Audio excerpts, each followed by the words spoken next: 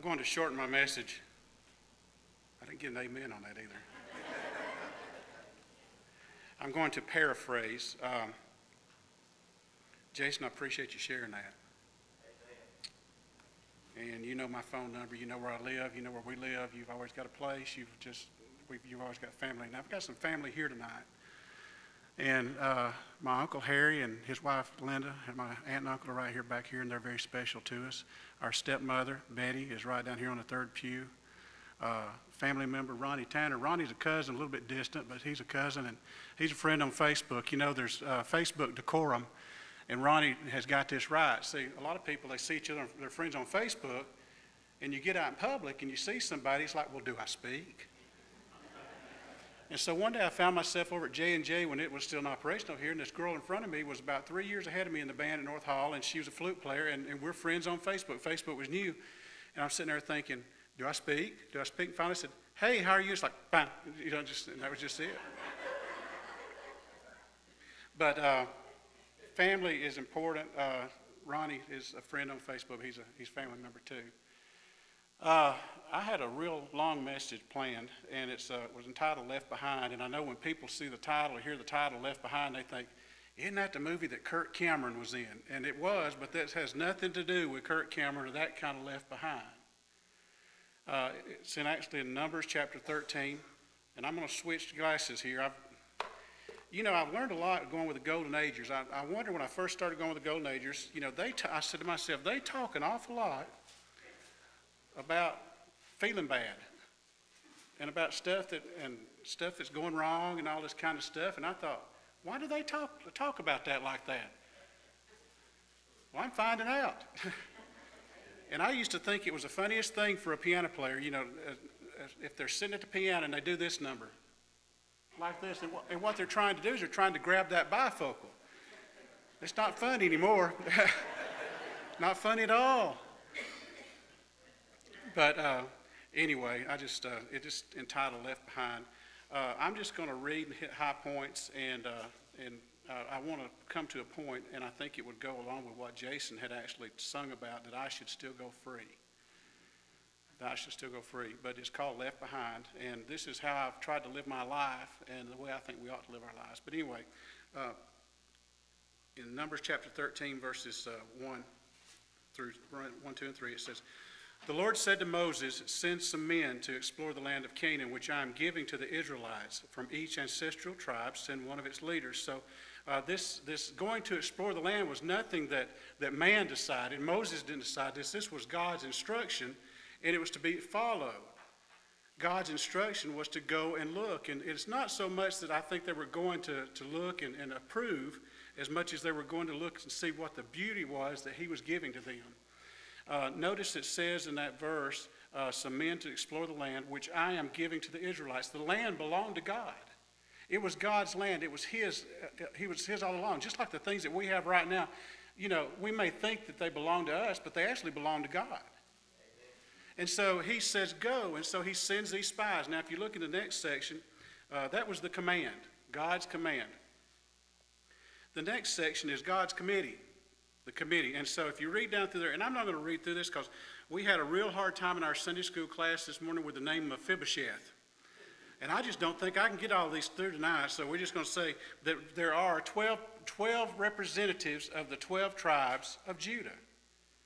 Everyone was included as far as the 12 tribes of Judah. No one was left out, it included all. And including all, uh, these were men that were considered to be leaders. And the first thing that I thought of when I started talking and seeing what they were leaders is what does it take to make a good leader? And here's a, here you go. I feel like Red Skelton. See, I can see now. Right there, y'all are.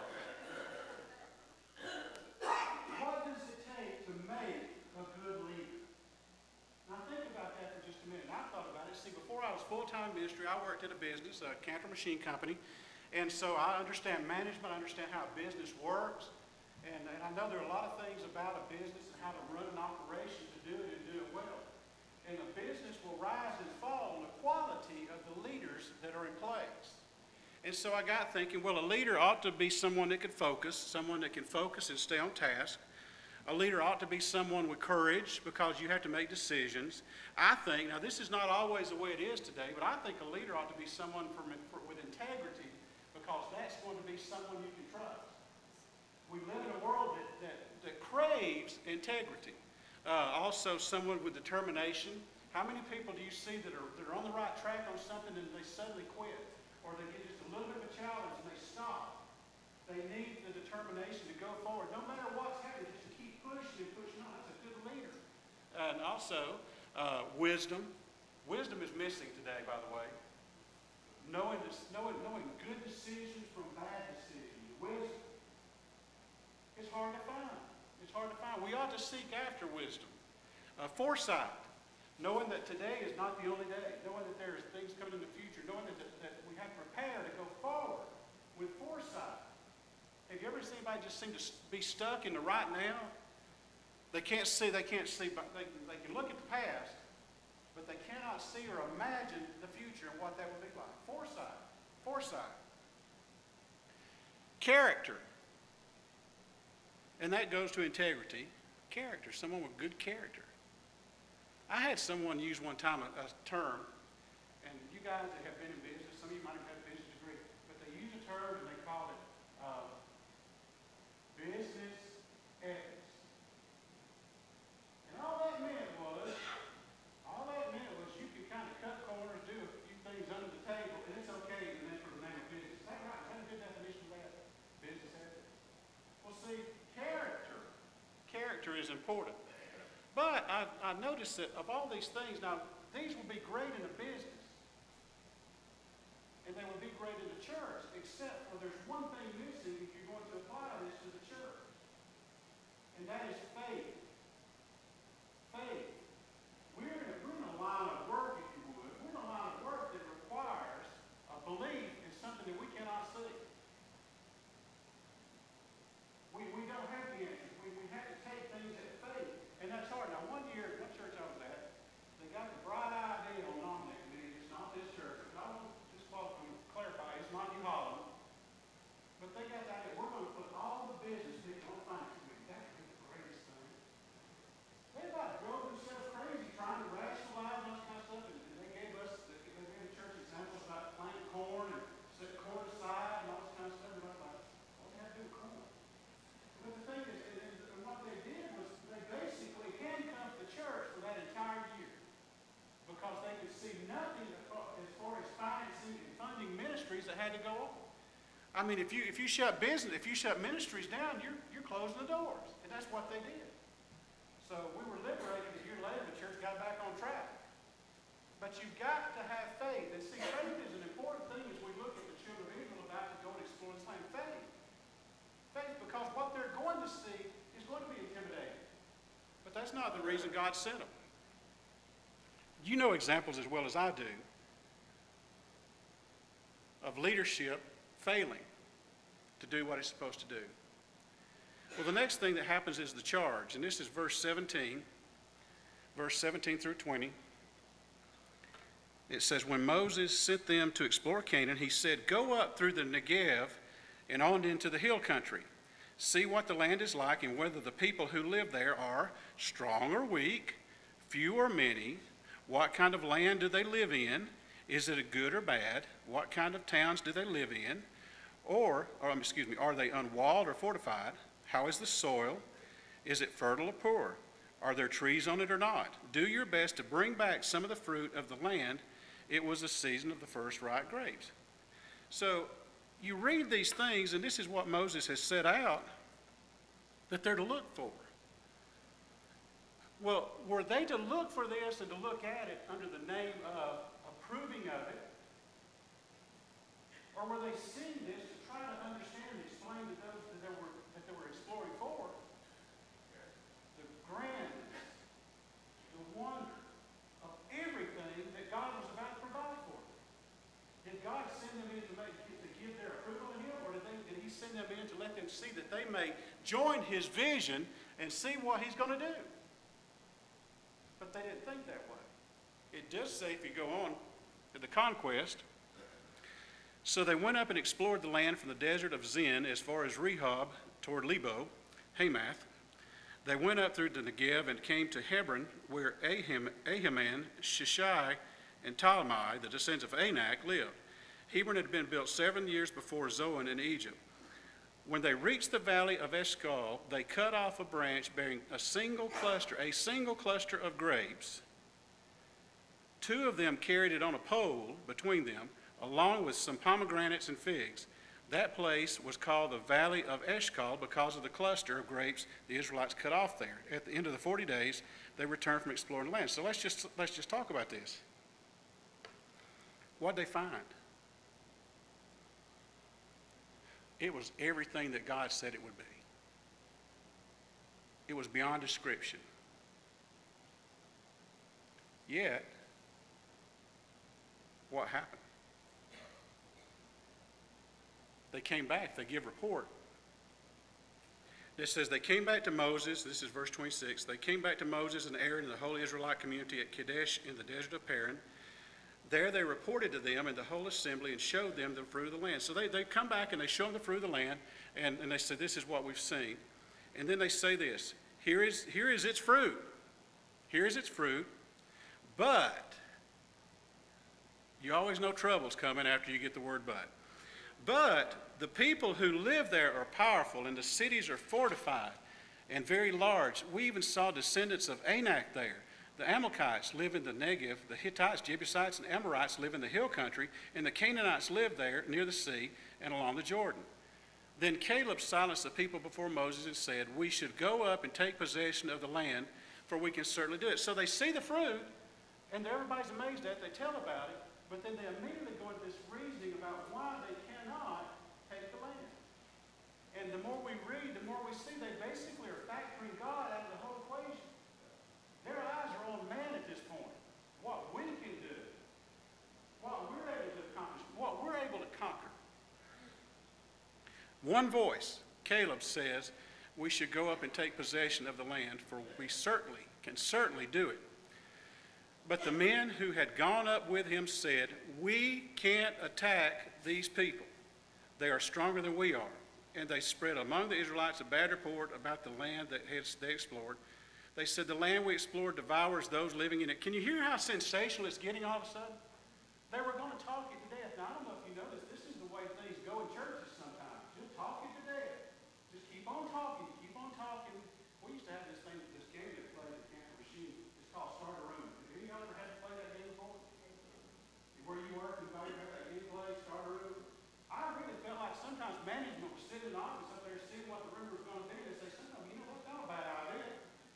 And they did what the room said. I said, all right, I'm serious. But the thing is, is what we see is they talked it to death. And the, the thought came to mind is a certain beauty shop in a certain town that was that were well known for talking down all the things that went on in a certain church in that area. Didn't matter what, the, what was right or wrong, just take it to the beauty shop. We'll figure it all out over there. And, and I, I'm not picking on women. It could be a barber shop too. Talk it to death. Talk it down. It said, the land, it devours the people. Just very sensational. Their mind's already made up. They're not going. They don't want to go. It says, We saw the Nephilim there, the descendants of Anak come from the, the Nephilim. We seem like grasshoppers in our own eyes and look the same to them. That's small to be a grasshopper in, their own eyes. Maybe they hit the nail on the head when they said in our own eyes. Doesn't that say they basically put their faith in, in their, own, their own ways? Well, I had two pages of notes here I was going to share with you, but I'm going to make a transition. Well, God becomes angry. There's a flurry of activity. They're grumbling because here again you hear the same thing.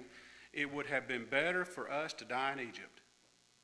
They keep bringing that out every time things go bad, every time they come to challenge. It would have been better for us to die in Egypt. Now, we, we have a certain word for this in youth ministry that I was taught early on, and it really just reminds me that the word is, I get this, not right this down. Drama. It just sounds like drama. We, we, we died in Egypt. Please put something to eat there.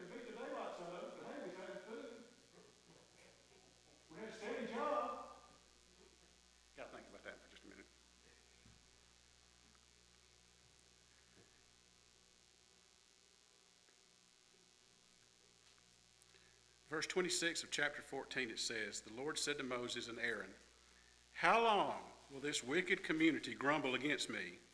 I have heard the complaints of these grumblings, Israelites. So tell them, as surely as I live, declares the Lord, I will do it to you and the very things I heard you say. In other words, they've said that they're going to die in the desert, and be better. They're going, he's going to let them die in the desert. He says, Every one of you 20 years old or more who has counted in, was counted in the census and who has grumbled against me, not one of you will enter the land I swore with uplifted hand to make your home, except Caleb son of Jephunneh and Joshua son of Nun. Okay, now, as we look at this, there was a tremendous cost.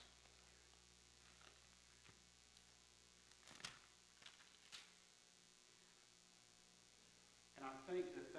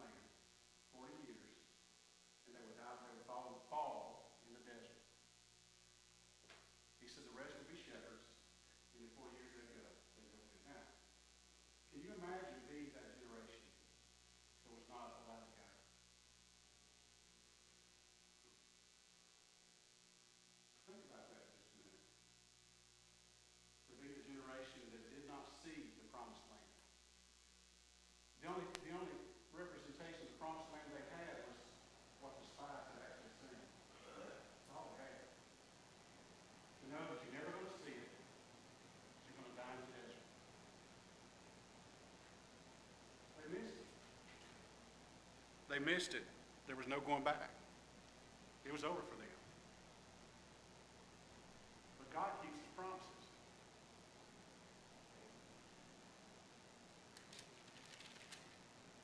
In Joshua 21, verse 43, it says, So the Lord gave Israel all the land he had sworn to give their forefathers, and they took possession of it and settled there. The Lord gave them rest on every side, just as he had sworn to their forefathers. Not one of their enemies withstood them. The Lord handed all their enemies over to them. Not one of all the Lord's good promises to the house of Israel failed. Every one was fulfilled.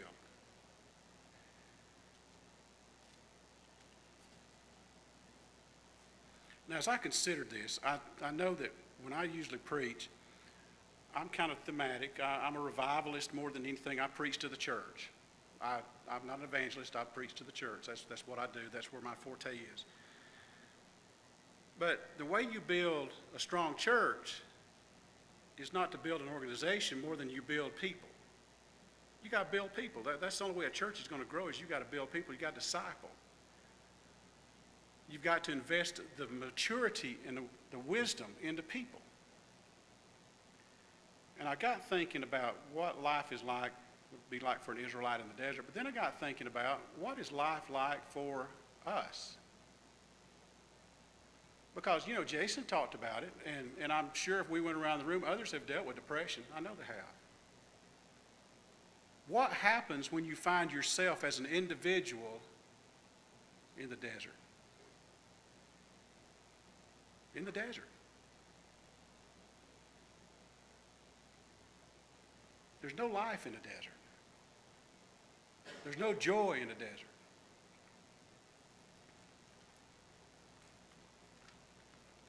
Something just came to me.